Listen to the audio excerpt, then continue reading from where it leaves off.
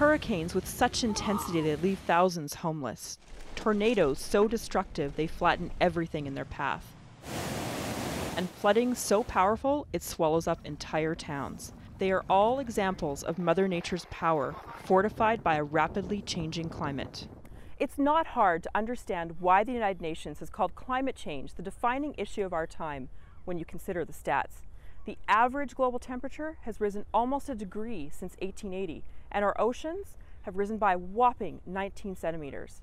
And CO2 levels in the atmosphere, well, those have increased exponentially too, especially since the Industrial Revolution and are currently at the highest level in 650,000 years. And what we're doing now is putting carbon uh, out of the ground, those millions of years worth of carbon, putting that into the atmosphere over a few hundred years. So we're doing that much, much faster than geology has ever done. With a greater awareness of climate change and the role that CO2 plays, there has been a strong emphasis on reducing greenhouse gas emissions. But reducing emissions is not the only answer to the climate problem. On the day we stop putting CO2 in the atmosphere, we have not solved the climate problem. People will still be dying of heat waves, the oceans will still be rising, it'll still be hot. And if you want to reduce that risk, you're going to have to find ways to take CO2 slowly out of the atmosphere. We hear a lot about reducing emissions through carbon taxes and government imposed fines. But what we don't often hear about are tools used to reduce emissions, tools like carbon capture and storage, or better known as CCS. So that's not understood by many people that capturing and recapturing carbon is not something that's nice to have, something you can delay until your grandchildren are grown up. It's something we in our generation have to tackle now. Carbon capture technologies allow an emitter like a factory, power plant, or oil and gas operation to capture CO2. The CO2 is separated and extracted.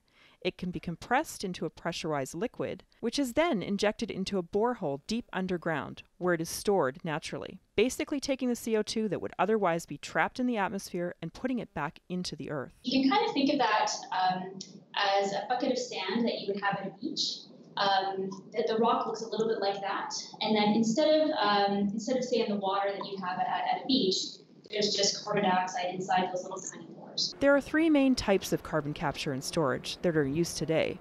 The first is called post combustion, where the CO2 is separated from the flue gas. Those are the gases you see coming out of a smokestack.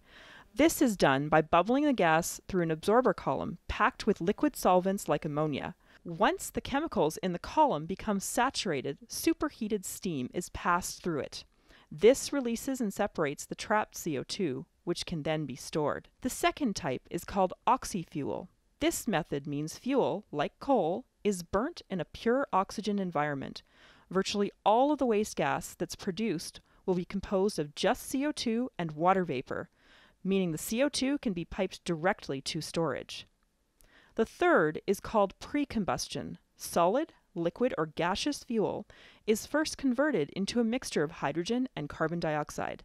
Then the hydrogen can be pumped out and used to fuel electricity production and even hydrogen cell cars. The CO2 that remains can then be stored. Carbon capture isn't actually new. It's been around since the 1970s, and since that time, facilities have been coming online worldwide, and the technology has proven to be both safe and useful. There are now some 18 projects up and running across the globe, and that number is growing with a further five in development and 20 more being planned. We have a total capacity of around 40 million tons per annum. So that's the current capacity that we have today. And that equals to roughly taking away, taking off more than 8 million cars from the road. What about cost? Critics say that it's too expensive to implement carbon capture on a mass scale. It's a very expensive uh, option. Uh, it's also one which is technically very complex. Uh, and I think that it's not really been the great hope that uh, the people were, were, were looking at it uh, to be 20 years ago. But it is getting cheaper and easier. Anne Halliday works with Shell on the Quest carbon capture project in Canada's oil sands and says that it is more accessible all the time. We often hear that carbon capture is very expensive. Um, and 10 years ago, when we, when we kicked off this, this project and started building it, um, we anticipated that the costs were going to be around $120 a ton, sort of over the over the life of this of this facility. Um, what is super, super exciting is that our costs are, are coming down quite a bit. Even though the costs are coming down, environmental groups like Greenpeace remain skeptical and advocate a more holistic approach. Carbon capture and storage is always going to be a, uh, a technological approach to uh, trying to, to, to fix a problem, if you like. And I think we need increasingly to be avoiding the problem by getting ourselves out of fossil fuels. Experts also agree that just capturing and storing the emissions from big business through conventional carbon capture isn't enough either. In the atmosphere, we've increased the total stock, the total amount of carbon dioxide. So it's rather like having a carbon warehouse which was empty, and we've filled it up with carbon dioxide. The warehouse is now full, it's spilling out the sides. That's where companies like Carbon Engineering come in. Carbon engineering was founded by David Keith, a Harvard professor who wanted to actually remove CO2 directly from the air around us. I thought it was a really important tool to have in the climate toolbox. Think of it like a giant vacuum cleaner powered by huge industrial fans that suck CO2 right out of the air.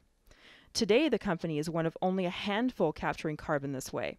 The Canadian based companies secured backing from several energy and oil companies, as well as Bill Gates. And they aren't stopping at merely capturing that CO2. They want to turn it back into fuel to power vehicles. They've already proven it's doable, and within five years, they hope to be turning CO2 into fuel on a large scale. A full scale plant for us does the work of about 40 million trees in removing carbon dioxide.